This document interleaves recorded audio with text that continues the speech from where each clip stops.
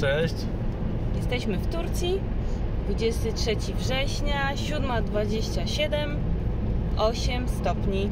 Jest, w końcu dojechaliśmy do Turcji. Teraz jeszcze tylko musimy całą Turcję przejechać i, i będziemy na Rivierze. E, Ale dzisiaj jedziemy do Kushadasi, to jest na wybrzeżu egejskim. Tam spędzimy sobie dwie noce.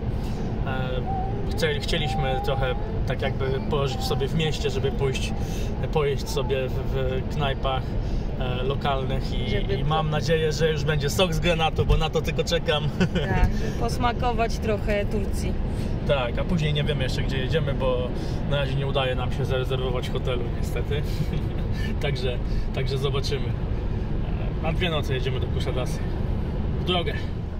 Jesteśmy już w miejscowości Kuczukuju. Zatrzymaliśmy się tutaj, bo bardzo lubimy się tu zatrzymywać. To jest takie nasze fajne miasto po drodze w stronę Izmiru, Kushadasy. E, zatrzymaliśmy się w restauracji Kardelen e, Usta. Zawsze się tu zatrzymujemy, w sensie zawsze, no, trzeci raz. Dwa razy. Dwa razy już byliśmy, tak, to jest nasz trzeci raz. Zamówiliśmy sobie, chcieliśmy zjeść zupę, ale niestety nie było, więc zamówiliśmy sobie paprykę taką nadziewaną, mm, kurczaka takiego z sosem, e, te dzieciaki jedzą bulgur, ryż i też takie mięsko z ziemniaczkami, do tego ayran pijemy, także jest bardzo fajnie, miło, sympatycznie. Tak, bardzo smakuje. Jeżeli chodzi o tą e, knajpę, to tak jak Ewelina powiedziała, jesteśmy tu już e, trzeci raz i zatrzymujemy się, zatrzymujemy się teraz już po drodze tutaj po prostu, czy to na Egejską, czy na Rivierę, bo to jest dla nas, dla nas po drodze. Jedzenie jest bardzo smaczne. Jedzenie jest smaczne, dzisiaj jest ogromny bazar tutaj, dzisiaj jest piątek, e, jest bardzo duży bazar, także e, fajne są ceny.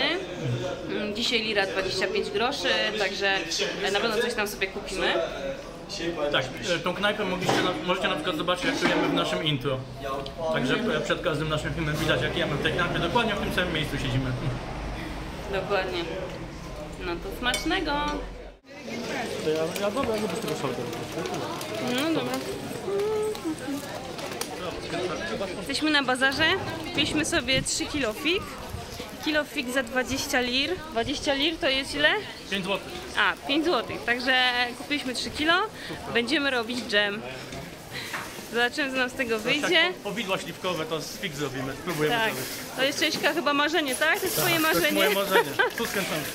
Także spełniamy Cześćka marzenie. Będziemy robić e, dżem z fig. W Thermomixie. W Thermomixie. Thermomix za nas zrobi. Zawsze problemem było to, że trzeba by kupić jakąś kuchenkę gazową, mieć garnki do tego, żeby zrobić jak powidła śliwkowe. A w Thermomixie to 25 minut i będzie zrobione. Tak, Zobaczymy. zbie- zbieraliśmy przez naszą ostatnią podróż e, kilka słoików, także sobie tam e, zapakujemy. Chyba, że zjemy od razu i nie zdążymy zapakować. Chyba, że tak. Zobaczymy. Ale ładne figi. Chyba takie same są w Polsce w Biedronce.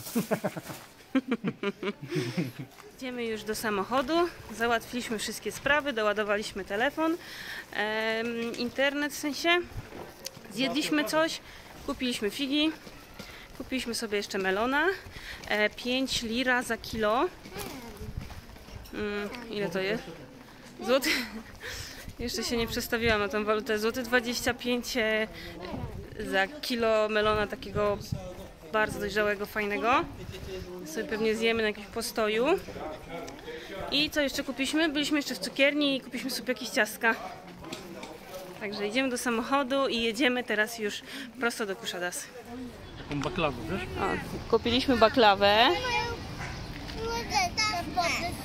Tak. Ciasteczka. Jakie masz ciasteczko? Pokażcie ciasteczka. O, takie ciasteczka, rogaliki.